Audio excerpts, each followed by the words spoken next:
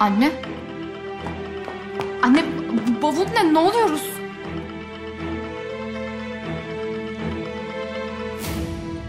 Tek bir şeyi merak ediyorum.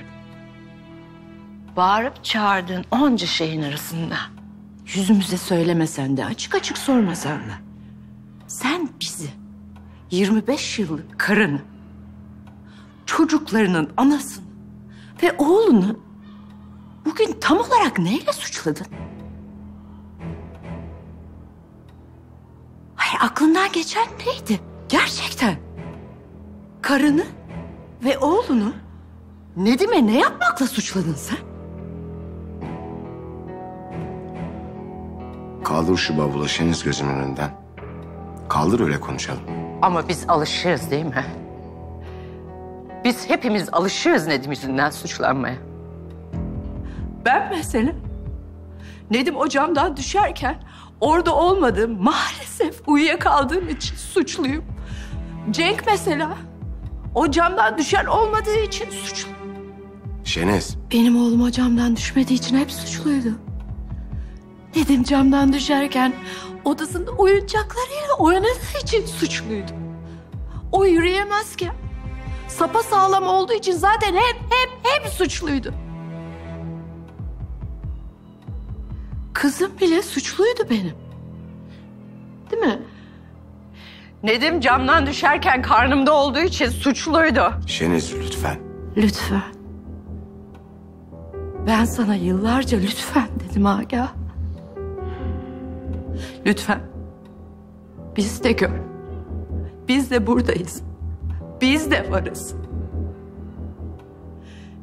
Ama sen...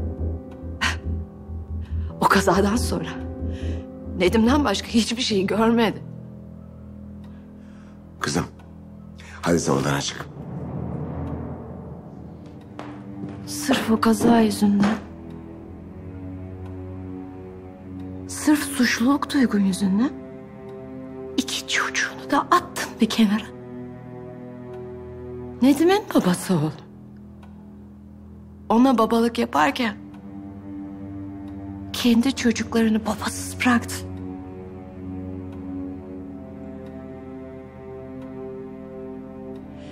Ben sadece oğlumun yediği o zoraki dayağın acısıyla değil, yılların acısıyla söyledim ne söylediysem.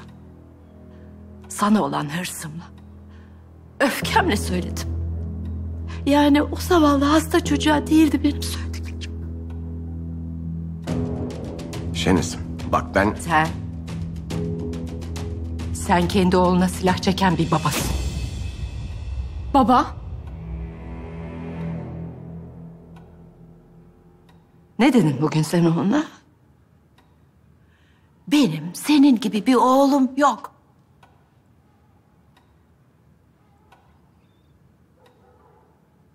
Oğlun yoksa Anne. Anne anne saçmalama anne. ben de yokum. Agah.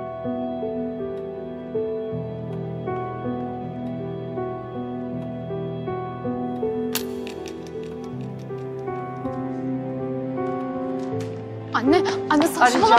sakin ol. Ya ne sakin ol anne nereye gidiyorsun? Annem. Baba annem gidiyor annem gidiyor bir şey yapsana baba peşinden git durdur bir şey yap baba annem gidiyor. Baba.